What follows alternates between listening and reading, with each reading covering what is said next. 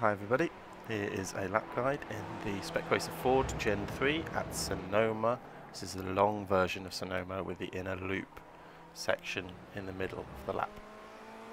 Uh, I'm using the iRacing default weather and uh, I'm actually going to be using the baseline setup for this video. Uh, early days with this car, so I thought, you know, let's go keep it basic, stick with the baseline setup and uh, hopefully you can use this as a guide for the week ahead.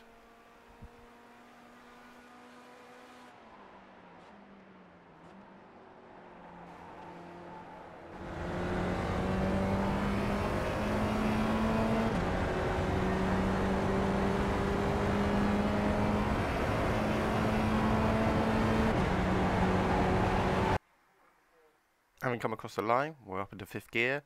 Uh, go through turns 1 and 1A, which go up the hill. Uh, the first part is flat out, but just before I get to the bridge, I'm going to lift off slightly because I want to keep the car to the left-hand side just after the bridge on the curb.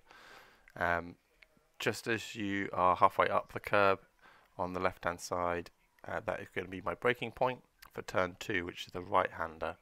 This is a really difficult corner, uh, it's easy to get a lot of wheel spin here, so you have to be really gentle on the throttle as you come up over the crest. I take aim for just a little bit of curb on the right hand side on the apex, um, but yeah, just be gentle on the throttle in third gear and just ease out. There's a lot of room on the exit to push out wide and carry the speed gradually uh, out through and down the hill to the next section.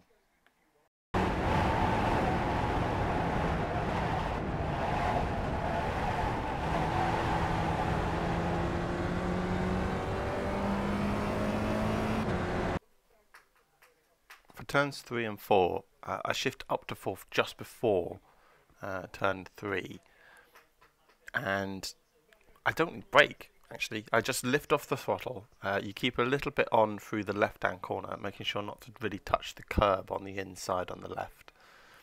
Um, but just keeping the car as far left on the exit of three because turn four goes up over the crest uh, and turns right, but it's really easy to run wide on the exit of 4. Um, you'll see if you keep attention on the, the accelerator graph, uh, yeah, I have a little bit of throttle to get me through 3, but I'm just sitting off a throttle, just waiting so that I know when to get on the throttle out of 4.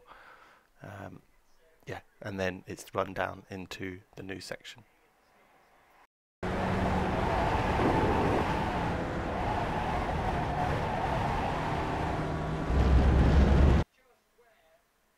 My braking marker for turn 5 is the end of the curb on the left, really simple. Um, the only thing to really consider here, uh, third gear corner, the curb on the inside is very steep, so I've been avoiding it. Um, and it's generally quite a nice corner. It's cambered, it drops away on the inside, um, so you can actually just find it quite easy to just turn in and get on the power for the straight, well, the flat out curve that follows.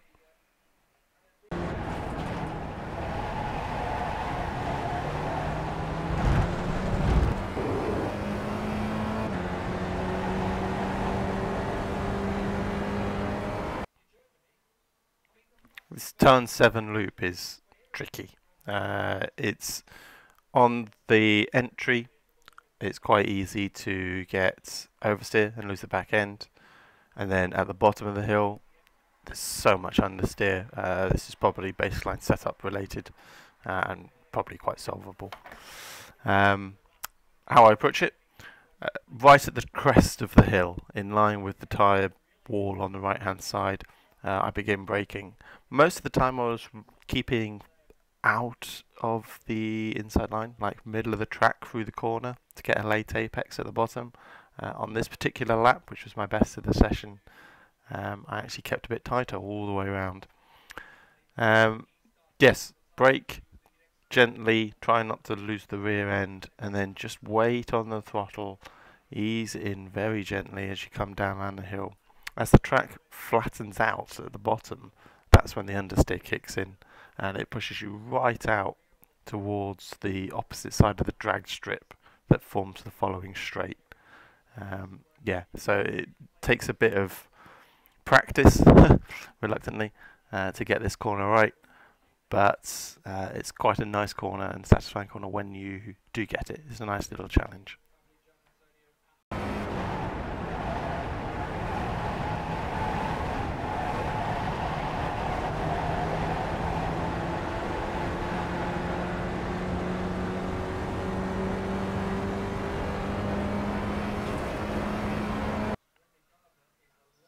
The first of the two hairpins on the circuit at the end of that long straight uh, is a bit of an awkward hairpin.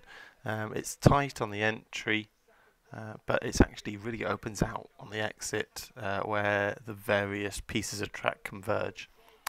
Uh, you see on the straight that I've kept into fourth gear, and I use roughly around the red billboard on the left as my braking reference uh, marker for the hairpin. Aim for the first curb, try and keep that fairly tight and then just ease on the throttle and try and carry a lot of speed. Like I said, there's a lot of extra tarmac and space on the exit.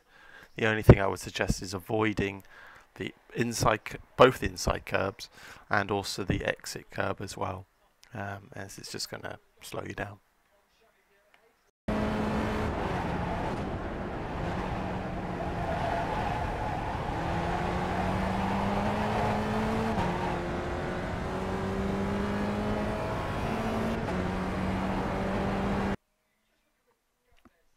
This section, uh, in, like in another video of mine where I did the outer circuit, uh, is about flow uh, and getting one right into the next.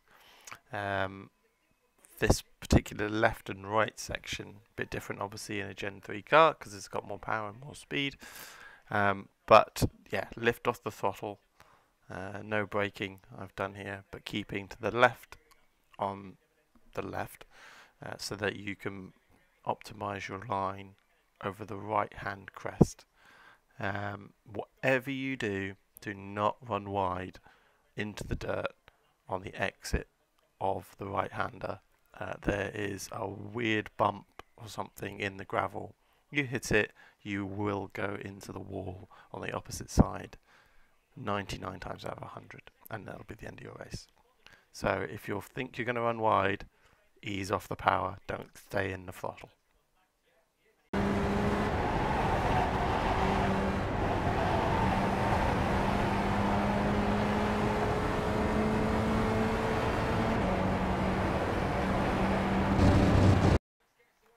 The left-hander up to this point was, of course, flat out.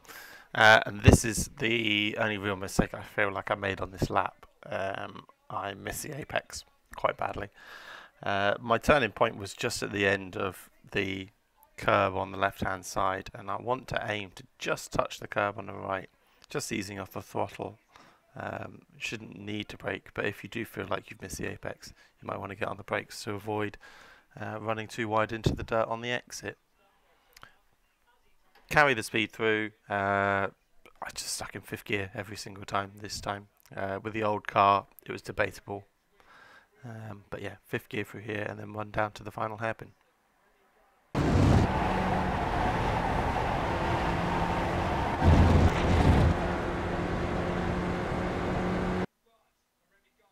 When I did this lap guide in the Gen 2 car for the outer circuit, um, braking for the final corner, I was braking far earlier than I thought I would have needed to. I was using the cone on the right hand side before pit entry.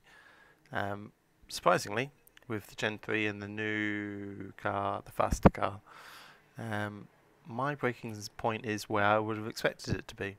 Uh, I'm using the cones at the start of the pit entry wall uh, on the left hand side uh, and then brake, just shift it down into second gear, bring it fairly close to the tyre walls. You can get away with uh, not uh, running over the curb there.